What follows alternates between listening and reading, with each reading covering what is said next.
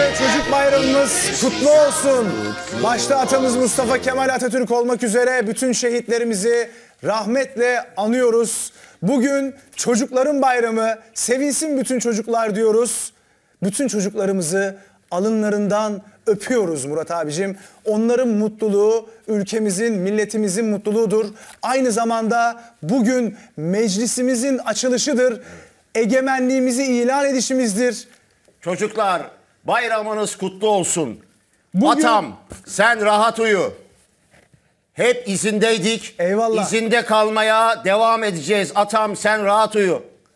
açtığın yolda gösterdiğin hedefe. hedefe yürüyeceğimize Durmadan and içeriz efendim. And içeriz ama bugün biraz da çocuk bayramı olduğu için şımarma hakkımız Aa, da olacak. var Murat abiciğim. Evet. Balonlarımız Antalya. gelmiş. Balonlarımız gelmiş. Bizim de biraz şımarma hakkımız var. Herkesin içinde bir çocuk ruhu vardır diyoruz efendim. Survivor Extra hepiniz hoş geldiniz. Sevgili Murat Özer, İhsan Tarkan, Azade Durmuş'la birlikteyiz. Evet Murat abicim aa dün gece neler oldu öyle Survivor'da? inanılmaz Dün yani. gece neler oldu öyle Survivor'da? Konseyde büyük olaylar var ama tabii ki bu olayların başlangıcı oyundan geliyor. İsterseniz oyunun kısaca bir özetini izleyelim. Ondan sonra da Ondan sonra- konsey, ondan sonra Ondan yansın sonra 11 Survivor, olsun. Survivor Extra masası diyoruz. Bakalım dün gece oyunda neler yaşanmış. Vay vay vay vay yönetmenimiz Tuğba Hanım ne güzel çekimler yapıyor şu anda. Harikulade. Ulu önderimiz arkamızda. Biz de ona layık olmaya çalışıyoruz efendim. Buyursunlar Murat abicim. Bizim için ne büyük bir onur. Ya Bunun karşısındayız. Evet. bir de çok yakışıklı. Yakışıklı. Asil. dünya biliyor onun Mavi gözlü. Gözlerini Baktıkça bakasın gelir. Ah ah ah atam sen rahat uyu. Hep arkanda olur. Allah gani gani rahmet eylesin. Ee, mekanı cennet olsun, makamı âli olsun. Buyurun efendim. Evet. Şimdi mavi takımı kutluyoruz. Ve mavi takım İnsan konuşunca hüzünleniyor değil mi Murat abi? bak şu anda böyle bir Hah. Şimdi bak Aa, sohbetini da. bile yaptığımız Evet, zaman tabii ya. nasıl insan hüzünleniyor böyle hani hem bir mutluluk düşüyor hem bir tüyler diken diken oluyor ama aynı zamanda bir burukluk da oluyor bir e, özlem de var var yani bu çok farklı duygular E, Türk olmak başka bir şey E, hepimiz bu coğrafyada olduğumuz için şu zaman diliminde hep birlikte olabildiğimiz için e, Allah'ımıza şükredelim. şükredelim.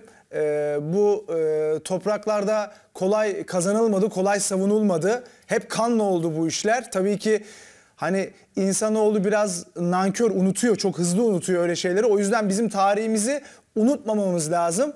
Çocuklarımıza da bunu nakşetmemiz lazım. Unutturmamamız lazım. Unutturmamamız lazım. biz bu zaten bilgileri unutmayız da unutturmamamız da lazım. Kesinlikle Onun için yani e, burada ebeveynlere çok büyük görevler düşüyor. Yani şimdi bir çocuk bu tarihten bir haber de yetişebilir ama bu tarihle donanımlı bir şekilde e, yetişkin bir hayat da sürebilir. Biz elimizden geldiği kadar yani hani en mükemmelini yapacağız diye bir şey yok. Gayret edelim yeter. Zaten geri kalan kendi kendine yolda tamamlanıyor diye düşünüyorum. ediyor herkes. Kendine düşen görevi herkes yapıyor. Ben buna inanıyorum. Evet Furkan dede tabii Buyurun. tüyler diken diken olaraktan başlayalım e, yorumlarımıza. Şimdi mavi takımı tebrik ediyorum. Mavi takımı tebrik ederken de baş mimarı özellikle tebrik edeceğim. Baş mimarı hem tebrik edeceğim hem de baş mimarın e, yaşadığı stresi de tabii anlatmak lazım. Neden stres yaşadı baş mimar? O da Seda biliyorsunuz baş mimar.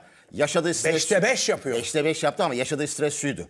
Seda'nın yaşadığı stres şuydu. Seda isteyerek duelloya gidilecek bir durum yoktu.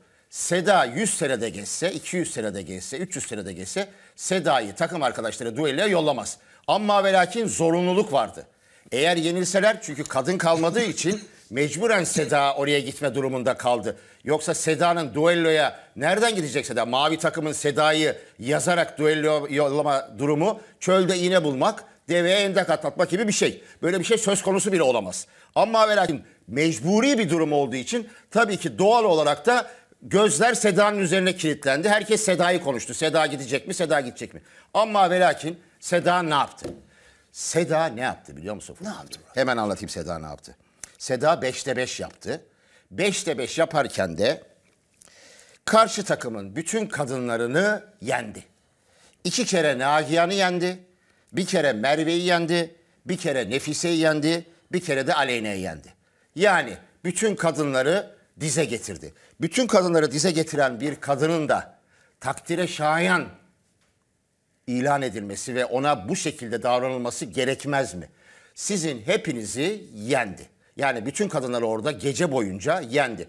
Bu kadının başarısını gölgelemeye çalışmak hiç etik bir şey değil. Bu kadın geliyor yeniyor, onu yeniyor, bunu yeniyor, onu yeniyor, bunu yeniyor. Ve bu kadını başarısı konuşulacağına orada kıskanıldığından dolayı bence benim şahsi fikrim. Tabii kıskanılıyor. Çünkü genelde başarılılar hep kıskanılır. Dünyada da böyledir. Mesela zirveye çıkan insanları hep indirmeye çalışırız. Örnekler çoktur dünyada. Zirvedeki insanlar hep üzerine gidilir. Zirvedeki insanlar ve onu indirmeye çalışırlar. Şimdi Seda'yı da indirmeye çalışıyorlar.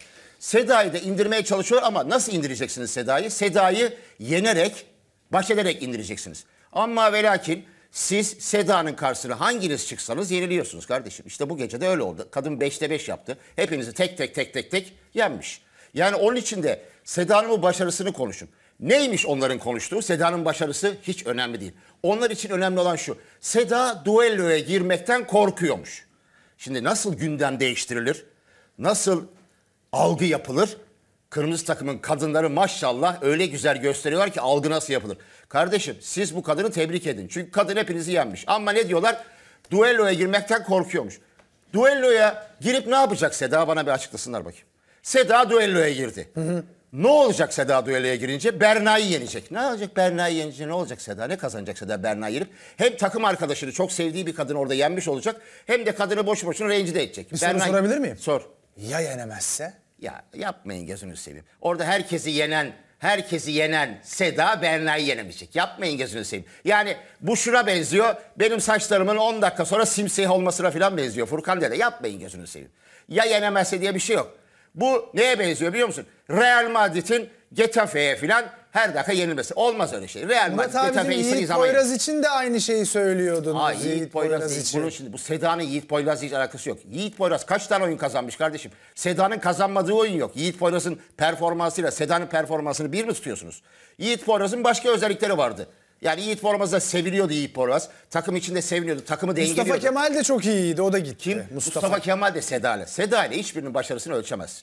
Onları geç. Seda şu anda buranın en başarılı kadını. Çıkarın abi istatistikleri çıkarın. Yani bu Murat kadın... hayır zaten bak Seda başarısız diyen Evet. ben demiyorum. E, peki Se- nedir? ben Dertleri söyleyeyim. neymiş? Hayır onların dertlerini anlatacağım ben sana. Tamam, ben- Dertleri ne biliyor musun? ben Dertleri bir şekilde Seda'yı düelloya Evet, sokup evet. elemek. E, Seda niye düelloya girsin ki ya? Seda düelloya girmez kardeşim. Seda niye karizmasını çizsin düelloya girmek? Düelloya girerek Seda bu kadar olan başarısını düelloya girerek karizmamı çizerim. Ben olsam girmem düelloya. Ne işim var benim düelloda? Düelloya girince ne oluyor abi? Çok matah bir şey mi düelloya girmek? Hayır. Zaten şu anda bir seçenek yok ki. Evet. Eğer kaybetselerdi zorunlu olarak Tamam girecekti ama zaten. Hani girecekti de yani düelloya girmek yani Seda düellodan korkuyor. Seda düelloya girip ne olacak kardeşim? Düelloya siz girin giriyorsunuz işte Merve giriyor. Hayır şunu soruyorum o zaman. Tamam ben sizin anlattığınız e, temaya katılıyorum ama Seda korktu mu korkmadı mı? Ya kardeşim duelloya girmek stres değil mi? Stres tabii ki. Herkes stres yaşar duelloya girecek. Ayrıca niye duelloya girsin Seda? Bana biri izah etsin. Seda'nın duelloya girmeye falan ihtiyacı yok kardeşim. Duelloya girip Seda şimdi bak Seda lider. Lider bir kadın. Neden duelloya girsin de alttakilerle mücadele etsin? Niye karizmasını çizsin? Bana ne kardeşim onlar ne yapıyorsa yapsınlar. Beni ilgilenmez. Yani burada öyle bir algı yaratılıyor ki duellodan korktu. Duelloya niye girmedi? Sanki duelloya giren altınlarla donatılacak etrafı duello. Duelloya giriyorsunuz siz kötü olduğunuz için giriyorsunuz duelloya. İyi bir insanın duelloda ne işi var kardeşim? Hayır başarılı bir insanın duelloda ne işi var? Onu bana anlatın. Başarılı bir insan girmez duelloya. Şimdi Ogeday'ın duelloda ne işi var? O da girmez. Ne yapacak girip abi? Başarısızlarla mı mücadele edecek? Ben hayatımda başarılıysam niye başarısızlarla girip kendi kendime mücadele edeyim? Onlar başarılı olsalar benim yanıma gelsinler. Bakın anlattığınız şeyde haklısınız ama dünkü konu bu değil. Ne konu abi? Şimdi Seda giriyor musun girmiyor musun gibi Yiğit Poyraz'la yapılan bir e, ring muhabbeti yok burada. Zaten kırmızı takım kazansaydı Evet. Seda zorunlu olarak potaya girecekti. Tamam, Doğru mu? girecekti, evet. Tamam. Yani burada bir tercih yok. Buradaki muhabbet şu. Oyun esnasında Seda'nın vermiş olduğu tepkiler, Evet. Nagihan'la oyun esnasında vermiş olduğu tepkiler, konseyde yaşanan diyaloglar, kırmızı takım yarışmacıları dedi ki Seda duelloya girmekten çok korkuyor. Onlar kendi işlerine baksınlar. Mesele bu. Seda'nın duelloda, duelloya girmekten korkup korkmaması çok önemli değil. Siz bu gece Seda karşısında ne yaptınız? Siz onu düşünün abi. Başarısızsınız. Kadın başarılı. Yani size yani Seda korkuyor mu? Girdi mi? Giriyor mu? Bunlar hepsi fasafisi uçup gidiyor. Burada kağıtlar var bak tarih yazıyor tarih. Seda orada tarih yazıyor. Siz ne yapıyorsunuz? Sizin hiçbir şey yazdığınız mazdığınız yok. Seda hepinizi patır kütür patır kütür patır kütür yeniyor. Dert o değil ki. Seda'nın umurunda bile değilsiniz siz. Siz kendi başarınızda yapın bir şeyler. Duelloya girmeyin. Merve'nin kaçıncı duelloya girişi? İki oldu. İki olacak. Aleyna'nın Beş olacak galiba. Yani. Nagihan girdi mi hiç? Hayır. Bir, orada bir Nagihan'da Nefise girmedi değil mi? Nefise de girmedi galiba. Nefise de girmedi, hayır. Tamam. Şimdi Aleyna ile Merve kıs kıs kıs kıs gülüyorsunuz. Gülecek de bir şey yok. Siz devamlı duelloya gidiyorsunuz. Duelloya gidiyorsunuz. Sanki öyle bir şey, algı yaratılıyor ki duelloya giden, duelloyu kazanan dünyayı fethetti. Duelloya sen başarısız olduğun için gidiyorsun. Bunu hepimiz görüyoruz. Başarılı olsan duelloda ne işin var senin? Duelloya gidenler oranın başarısızları. Seda oranın en başarılısı. Seda'nın duelloda işi yok. Siz kendi kendinize gidin abi. Oynayın duelloyu. Kendi kendinizi pohpohlayın. Biz duellodan çıktık. Nereden çıktınız arkadaş? Sanki siz şeyi hani Survivor'ı kırdınız. Başarı üstüne başarı yakaladınız. Oraya gittiniz. Orada da çok baş. Bu neye benziyor biliyor musun? Futboldan bir örnek vereceğim yine İhsan kardeşim hemen Murat abi diyecek futbol. ben sana bir örnek vereyim mi? Düşme potası yaşayan takımlar olur ya. Evet. Düşme potası yaşar. Düşme potası yaşar. Bütün sezon, bütün maçlarda yenilir. Yenilir, yenilir, yenilir, yenilir.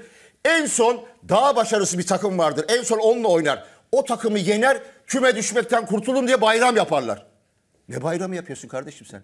Sen son anda küme düşmekten kurtulmuşsun. Bayram yapacak da bir şey yok. Sen zaten başarılı olsaydın buralara gelmezdin düşme potasına. Onun için de Doğru. yani bunların hepsi hikaye. Beni kimse kandırmasın. Ben kanmam. Saçları değirmende Ama yani artmadı. düşme potasından son anda kurtulunca da sevinmeleri de normal. Ne yapsın adamlar sevinmesin Ya yani. sevinsin de ama oraya gelme o zaman.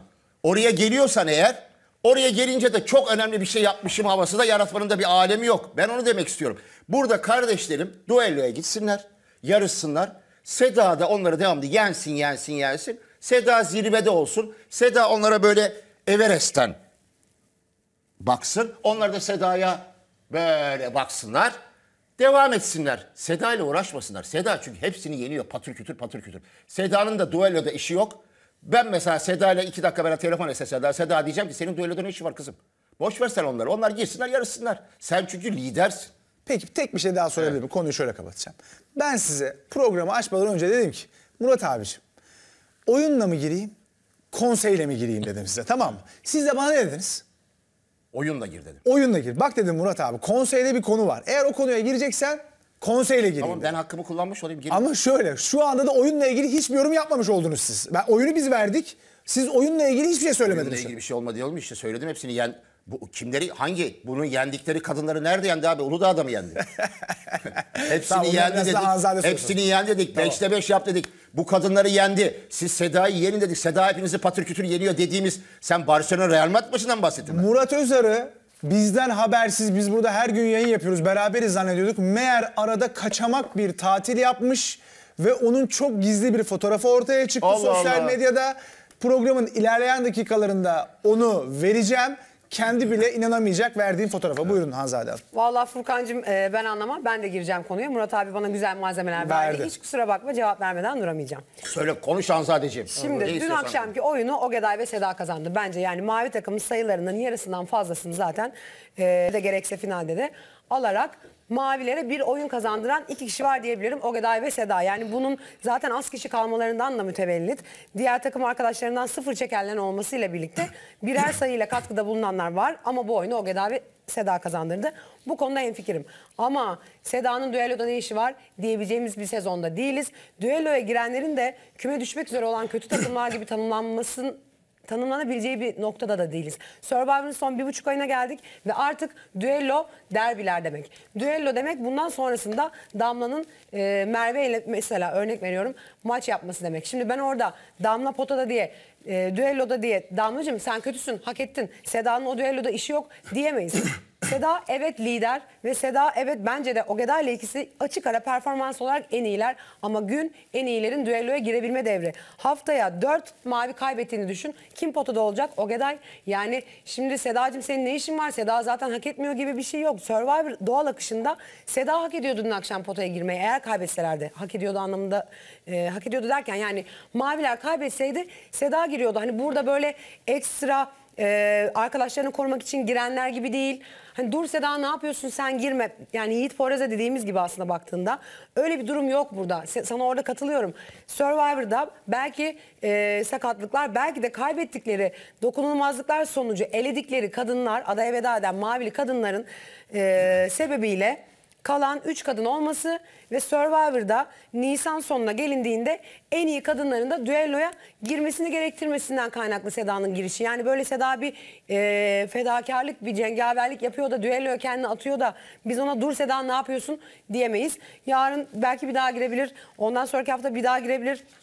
Nagihan girebilir, Merve girebilir. Bunların arasında e, lig farkı yok bence. Evet en iyileri Seda ama lig olarak başka bir noktada da Nagihanlar, Merve'ler, düellolarda kapışsın damlalar. Seda'nın orada işi yok. Seda direkt finale diyemeyiz çünkü Survivor böyle bir yarışma değil. Seda düellodan korktu mu konusuna da kısaca değineyim. Sonra belki Yo, hayır, de açarız. buyurun, buyurun. Şimdi düellodan korkması e, bir suç değildir, bir ayıp da değildir. Ama o kadar çok güzel açıkladı. Seda düellodan korktuğunu sözleriyle hissettirdi. Asla hareketleriyle değil. Çıktı sayısını aldı. Düellodan korktu da elleri titredi de oyun oynayamadı da gibi bir durum asla yok. Alnının e, ak sütü gibi helal olsun. Kazandırdı da maçı ve düelloya da girmedi. Buna hemfikirim. Ama Seda'nın düellodan korktuğunu da izledim. Hani şimdi bunu e, şöyle Seda o anlarda endişesine ve hırsına yenik düşüp dile getirdiği için izledim diyebiliyorum. Bir tık bencil duruyor Seda. Hani bir tek onun kaderiymiş o oyun gibi davranıyor. Değil ama Seda'nın düelloya girmesi Berna'nın da kaderi. Yani o mavi takımın kaybetmesi e, Merve Aydın'ın da kaderi, Nagihan'ın da kaderi. Şimdi onların kaderi değil de Seda mecburen giriyor diye sadece Seda'nın mı kaderi oluyor? Yo Merve'yi de bence tercihen sen git bu takımdan demez kırmızı takım baktığın zaman performansına. Yani orada da kötü performansı diyebileceğimiz evet Aleyna belki en düşük ama kötü bir kadın yarışmacı diyemeyiz yani performans olarak. Dolayısıyla sadece Seda'nın kaderiymiş de e, Nagihanlar, Merve'ler zaten oraları hak ediyormuş. Kaybetsinler onlar kendi işlerine ne, yap, ne yaparsa yapsın gibi söylemlerle Seda bencil duruyor. Ve Seda bence genelde sezonlarda böyle olduğu için bunu hep söylüyorum. Bence bu kadar başarılı bir kadın yarışmacının şampiyonluk yaşayamaması da normal değil. Çoktan yaşamış olurdu. Bu bencilliği e, halka hissettirmeseydi benim şahsi fikrim. Dolayısıyla dün akşamda hakkıdır korkmak. Çünkü ne hikayelere gebe düellolar bu sezonda ama korkmadım derse de buna ben inanmam. Buyurun. Oyundan nerelere? Neyse ben biraz oyunu konuşayım. Eğer fırsat gelirse veya sen sorarsan bu konularda girerim. Yo yo girin ya. Girelim mi? Tabii herkes girdi yani. Aynen peki. Şimdi oyun aslında dört kişinin oynadığı, yani dört tane ana karakterin e, sahne aldığı, diğerlerinde figüran olarak eşlik ettiği bir film gibiydi. Şimdi bir tarafta Seda ve Ogeday, bir tarafta da Atakan ve Nagihan. E, bu isimler zaten iki sayıdan ve fazlasını alan isimler. Diğerleri ya sayı alamamış ya bir sayı almış. Hani olaya bu kadar katkıda bulunmuşlar. E, dolayısıyla ben öncelikle bu dört arkadaşı tebrik ediyorum oyunla ilgili. Şimdi 9-9'a kadar olan skorları ayrı değerlendireceğim. Ondan sonra oradaki bir sayı için çünkü şöyle bir şey söylendi. Konseyde e, mesela Seda için 5'te 5 dendi. Halbuki Seda 3'te 3 ile geliyor final oyununa. Biz bugüne kadar final oyunda tek sayı alınınca da onu aslında 4'te 4 diye nitelendiriyoruz ama oyun biraz daha böyle birebir spesifik bir oyun olduğu için ve iki kere karşılaştığı için Seda ve Nagihan onu böyle iki galibiyet olarak adlandırdılar. Sadece adlandırma kısmında 5'te 5 dendi. Halbuki Seda 4 sayı almış oluyor. Ogeday da 4 sayı almış oluyor. Takımlarına daha doğrusu Seda ve Ogeday 3-3-6 sayı bir de final sayısını getirip toplam ikisi 7 sayı getirmiş oluyor. Yani 10 sayının 7'sini Seda ve Ogeday ikilisi getirmiş oluyor. 9 sayının e, 4'ünü de Atakan ve Nagihan ikilisi getirmiş oluyor sayı şeylerine. Zaten finalde ikisi yer aldı. E, şimdi tabii ki tebrik etmek lazım hem Ogeday'ı hem Seda'yı galibiyetlerinden dolayı da Ee, o sonuçta gece damgasını vuran konu e, özellikle kadın yarışmacıların ve ondan sonra da kırmızı takımın diğer fertlerinde ortaya çıkardığı korku muhabbeti. E, bu biraz şey gibi yani şimdi biz düşünün milli takım olarak herhangi bir branşta çok beklediğimiz bir oyunda bir yere gidiyoruz. Milli takım olarak galibiyet alamıyoruz. Ertesi gün gazete nasıl bir e, şey atar bizim milli gazetemiz? Açarsın bir gazete dersin işte atıyorum şurada kara gece. İşte hakem faciası. İşte ne büyük şanssızlık falan. Yani yenildiğimiz değil de başka bir şey.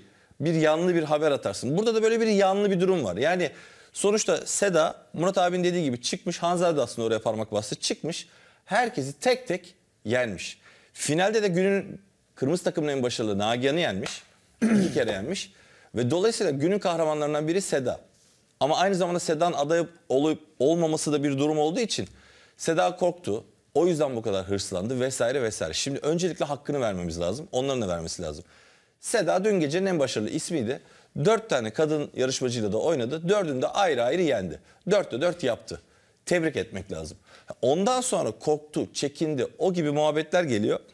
Ben biraz böyle işte oranın yanlı bir haber olduğunu düşünüyorum. Yani konu korkmak, çekinmekten ziyade önce Seda çıktı, mücadelesini yaptı ve kazandı.